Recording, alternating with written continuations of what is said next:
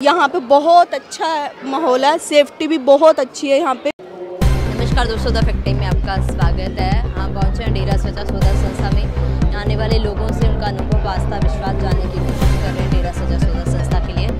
नमस्कार मैम आपका good name? नीलम। कितने समय से आ रहे हो आप डेरा से? काफ़ी टाइम से आ रही हूँ। कितना विश्वास बहुत ज़्यादा विश्वास है। खुद से भी ज़्यादा मतलब सदगुर पे भरोसा है। अपनों से भी ज़्यादा सदगुर पे भरोसा है। ऐसा क्या आपकी ज़िंदगी में बदलाव आया जो आप स्टिल उनके साथ क्योंकि हम जब शुरू से आ रहे हैं, हमें मतलब अच्छा मोटिवेशन किया हुआ है पिताजी ने, बहुत अच्छा मोटिवेशन किया हुआ है। मतलब छोटे होते समय से आ रहे हैं हम, और यहाँ पे जो स्कूल है, अपना शासन नाम जी गर्ल्स स्कूल वहाँ पे हम पढ़े हुए हैं। वहाँ पे भी पिताजी आते होते थे। हमें बहुत ही अच्छा मतलब इतना बहुत प्यार से गाइड करते हैं, और इतना मतलब बहुत अच्छा रिस्पॉन्स है यहाँ पे। और यहाँ पे जो टीचर है वो भी अच्छा कोऑपरेट करते हैं हमारे साथ। यहाँ पर माहौल कैसा है लड़कियों की सेफ्टी को लेकर सुरक्षा को लेकर? यहाँ पे बहुत अच्छा माहौल है। सेफ्टी भी बहुत अच्छी है यहाँ पे। जैसे गर्ल्स और बॉयज़ को अलग अलग यहाँ पे जैसे बिठाया जाता है। स्कूल में भी काफ़ी गर्ल्स स्कूल का है तो वहाँ पे बहुत अच्छी मतलब वो सिक्योरिटी है लड़कियों के लिए। लेकिन मैम मीडिया में काफ़ी लग प्रेजेंट किया जा रहा था। क्या मानना है आपका जो मीडिया में दिखाया गया वो सब झूठ है। अभी भी आपने ऐसा महसूस किया नहीं कभी नहीं। यहाँ पे हमने जो देखा हमने खुद यहाँ पे आते हैं। मैं तो कहती हूँ जो लड़कियाँ इस बारे में गलत सोचती हैं वो भी यहाँ पे आके देखें। उनको भी पता लगेगा कि यहाँ पे क्या है क्या नहीं। देखो बोलना बोलने का तो अलग बात है। यहाँ पे जो देखा जाए मतलब वो सच है।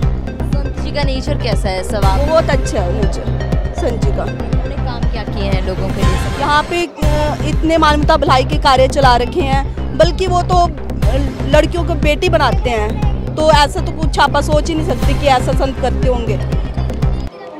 जो यहाँ पे मतलब अलग से प्रेजेंट किया हुआ है ना उनको मीडिया ने वो सब गलत है। क्या आज उनकी ज़रूरत है समाज को? बहुत ज़्यादा ज़रूरत है। जो समाज मतलब ये धूम्रपान वगैरह ये नशे है आजकल ये युवा पीढ़ी जो नशे की तरफ़ जा रही है सब खत्म हो रहा है। तो मैं तो कहती हूँ पिता को जल्द से जल्द रिहा किया जाए। यही उनसे प्रार्थना करते हैं गवर्नमेंट से कि आप जल्दी जल्दी से उनको रिहा करो और यहाँ पे जो मानवता भलाई के कार्य हैं पिताजी खुद आके हमें प्रेरित करें। क्या अपील करोगे? क्या मांग करोगे? सरकार से यही मांग करते हैं कि पिताजी को जल्द से जल्द छोड़ दिया जाए। लास्ट में सवाल पूछना कि आपको क्या लगता है जब से संत जी नहीं है समाज में उस तरीके से ये सजा किसको मिल रही है संत को या समाज समाज को मिल रही है। क्योंकि अगर पिताजी आएँगे गाइड करेंगे जो ये आजकल बीमारियाँ भी चल रही है ये सब मतलब एक वो है जो आजकल चल रहा है, जैसे नशा वगैरह चल रहा है, उस वजह से बीमारियाँ भी बहुत फैल रही है। शराब है, सिगरेट है, जुआ है, ये सब मतलब पिताजी आते हैं जब तो प्रेरित करते हैं और लोग छोड़ते भी हैं उन चीज़ों को, नशे और बुराइयों को, सब जो आजकल बुराइयाँ चल रही है, वैश्यवृत्ति चल रही है, ये सब लोग छोड़ेंगे क्योंकि ये वैश्यवृत्ति करेंगे और उसके बाद जो बीमारियाँ हमें घेरती हैं, वो पता लगता है बाद में हमें। बहुत बहुत धन्यवाद। दोस्तों यह है जनता का अनुभव, जो जनता आपके सामने बता रही है। आपकी क्या राय है? ज़रूर डालिएगा कमेंट बॉक्स में। किस तरीके से ये लोग बता रहे हैं कि समाज से नशा खत्म करने का बीड़ा उठाया है? समाज से नशा खत्म कर रहे हैं सेंट डॉक्टर गुरमीत राम प्रेम सिंह चिंसा। उनके ऊपर तमाम लगे आरोप झूठे हैं। ये खुद बचपन से आ रही हैं, खुद ये आपके सामने अपना अनुभव बयान कर रही हैं। आपकी क्या राय है? ज़रूर डालिएगा कमेंट बॉक्स में। बहुत बहुत धन्यवाद। जुड़े रहेगा हमारे साथ।